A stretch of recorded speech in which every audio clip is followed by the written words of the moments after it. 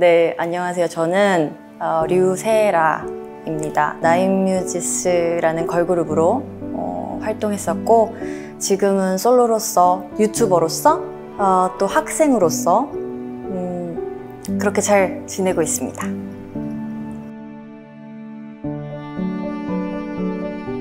다른 친구들과 어울리지 못하고 선생님들 사이에서도 이제 문제아라고 불리던 친구가 있었는데 제가 피아노를 이렇게 막 치고 있었어요. 혼자서 쉬는 시간에.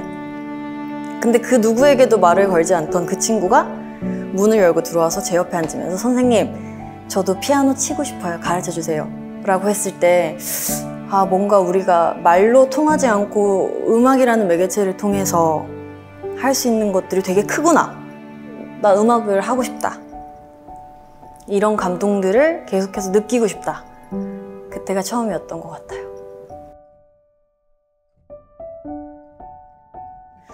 어쨌든 상업음악이라는 것은 나에게 도구이지 않을까. 이걸 한번 해봄으로써 나도 많은 걸 느낄 수 있지 않을까.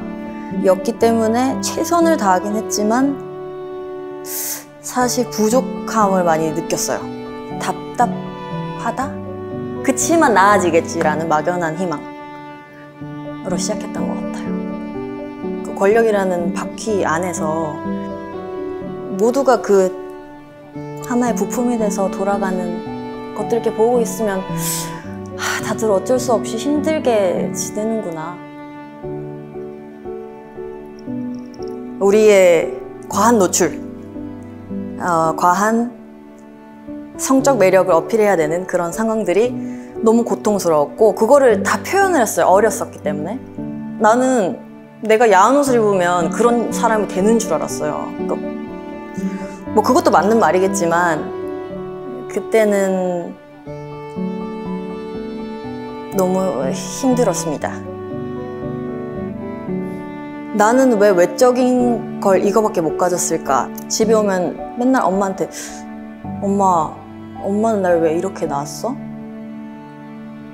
닭똥 같은 눈물을 맨날 흘려.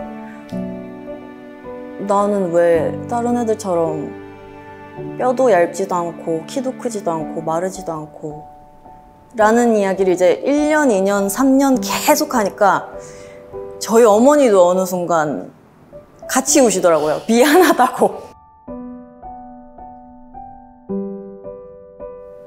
사랑받을 수 있다는 거?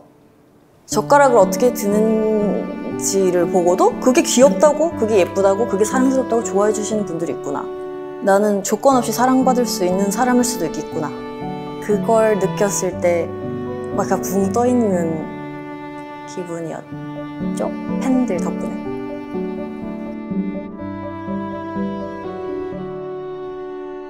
두바이에 갔었어요. 신기하더라고요. 이게 음악이 닿을 수 있는 곳이 진짜 한계가 없고 기름 왕국에서 왕자님들 앞에서 공연을 하고 있구나.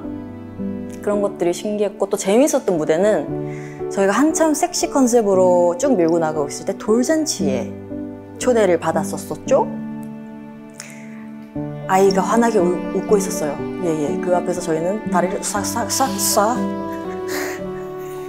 그것이 가장 어, 충격적이고 재미있었던 무대였던 것 같습니다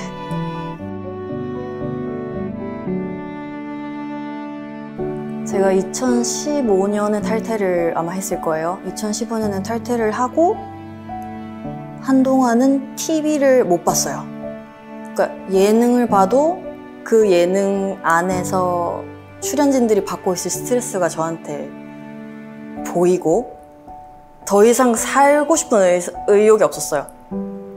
그러니까 뭘 잃어도 나는 상관이 없다. 어, 이런 말씀을 드리기엔 조금 위험할 수도 있겠지만 자기 스스로 목숨을 끊은 사람들을 보면 아, 저 사람들은 좋겠다. 사는 것도 선택할 수 있고 죽는 것도 선택할 수 있어. 난 그런 용기가 없는데. 나도 이해가 안 되는 생각들을 하면서 지내던 시기였거든요.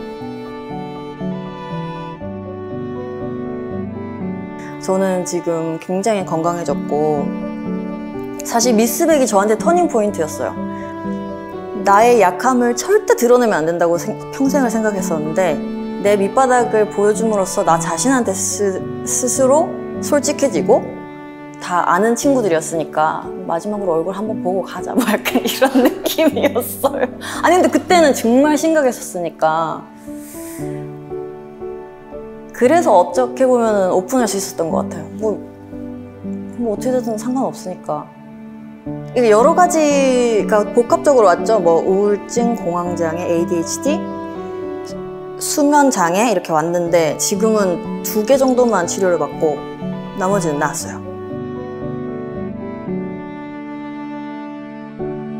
제일 잘 알고 잘, 제일 잘 했던 거, 제일 잘 봐왔던 거를 다시 한번 보자 해서 가요 프로그램을 다시 보기 시작했어요. 처음엔 너무 고통스러웠는데 신인 걸그룹들이 나오잖아요. 그러면은 하, 지금 이거 끝나고 나서 사장님한테 한 소리 들었겠지?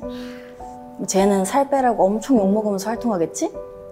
이런 생각이 들면서 쟤네들과 나의 모습이 투, 딱 투영이 되면서 안 되겠다.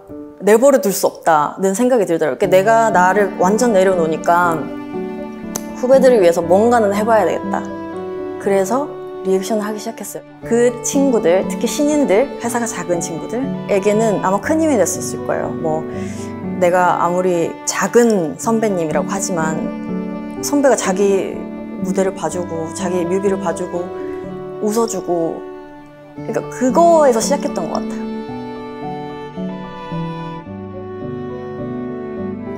저는 아직도 해답을 못 찾았거든요. 너는 너 그대로 아름다워. 하지만 이 말이 평소에 우리 후배들이 활동하고 살로 부딪히는 환경에서 도움이 되는 말인지는 저는 아직도 의문이거든요. 왜냐면 이, 나만 바뀐다고 되는 게 아니니까.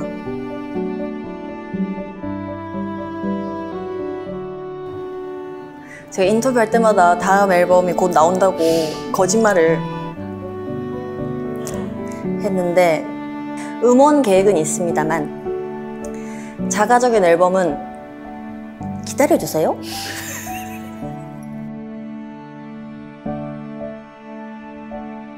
아, 그 친구는 참 많이 무너지기도 했지만 그래도 다시 일어나서 지금은 건강한 친구. 나도 저 사람처럼 아프지만 저 사람처럼 건강해질 수 있겠지. 그러려면 내가 건강해져야 되겠지? 너무 큰 부담을 스스로에게 오, 올렸네요.